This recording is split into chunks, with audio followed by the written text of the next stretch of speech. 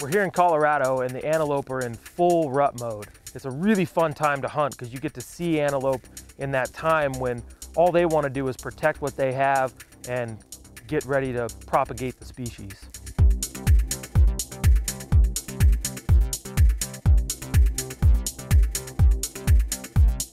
You know, one of the things we count on out here is how good of how good our optics are. Um, you spend a lot of time in the truck trying to find antelope, make sure they're good enough. So the only thing that makes that happen is quality, quality optics. I say a lot of times the only thing that works all the time is gravity. Uh, and during the rut, during the antelope rut, a lot of times the decoy, well, the decoy will drive them absolutely crazy. Other times it doesn't work at all. But one thing for sure, an antelope's vision is so good, they're gonna see it. And if they want to come to it, they're to come to it. It'll get their attention, and just because you have an antelope's attention, it doesn't mean that he's going to stay there long because he may be with a bunch of girls and he's got his mind on something else. He doesn't want to fight. He wants to No, sorry.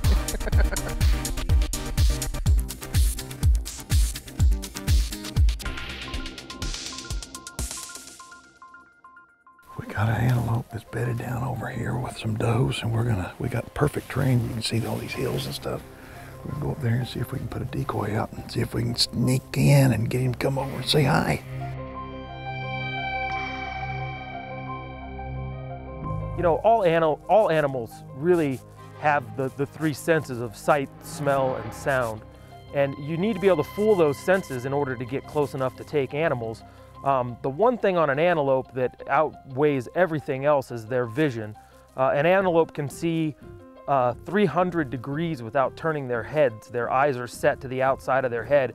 They have a very, very wide field of view. So it's very hard to not get caught when you're trying to sneak on an antelope. Oh, darn it. Should have had that one. So the one thing you really have to do is make sure that the whole time you're trying to keep yourself out of their line of sight. When you come out to hunt here in Colorado, we are hunting wide open, flat areas. Um, it would not be unreasonable to think that a hunter would need to make a 300 yard shot. I don't know that I would ask anyone to shoot over 300. We have plenty of hunters that come out that can do that. But uh, if, if you can really get your gun sighted in and, and be proficient at 200, then you should be fairly good at, at 300. And that's, a, that's not an outrageous distance to shoot out here.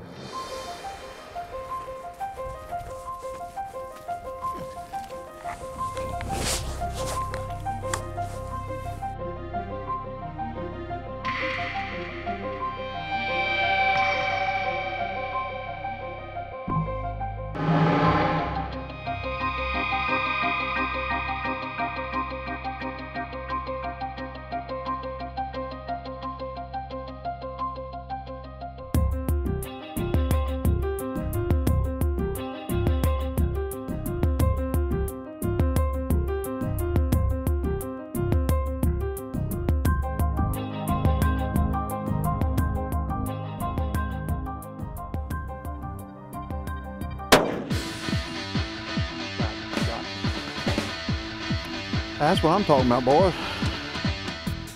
That's better. Heck yeah, that's what I'm talking about. All right, welcome to Colorado, boys and girls. All right, there was uh, pretty cool. We wound up, we did a the classic sneak. The classic sneaker. The classic sneak. We wound up, we've got good broken country here, and there's nothing taller than about a about that tall right there. And so we wound up, we used the hills to our advantage. Thank goodness he stopped, huh? Yeah, he did. Took him a little while to get turned broadside, but you know, it's one of those things. You just kind of wait for your your opportunity, and the doe kept saving his life by standing behind him. But eventually, she lost the battle. Oh my gosh! Looky here! I've never seen an antelope with horns that coloration before. Why is that, you I think? think it's just, he's just muddy, dirty. Wow. It's like, or been rubbing them on something. It's crazy. Boy, that was a heck of a shot.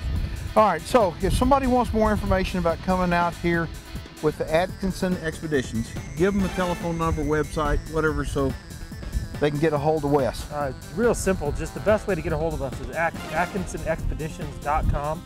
It's our website. Uh, it's got all the contact information. It's got all the pictures, uh, videos. I mean, it's got a ton of information about us. So that's the best way to get a hold of us. And we're hunting private ground here, folks. Private ground. So anyway, this is this is pretty cool. Well, I lost the towing cost this morning and went second, so now I'm on deck. But good Let's go get job. another one. Yeah, let's go get another one. We'll get this bad boy taken care of and we go and get another one. That is pretty awesome. Welcome to Colorado.